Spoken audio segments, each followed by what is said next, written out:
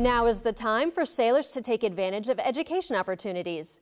CNO recently announced the Tuition Assistance Program, or TA, will continue to pay 100% of tuition and enrollment fees in fiscal year 15.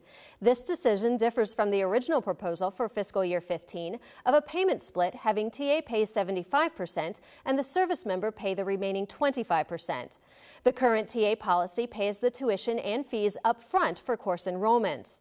There is a credit limit of 16 semester hours, 24 quarter hours, or 240 clock hours per fiscal year.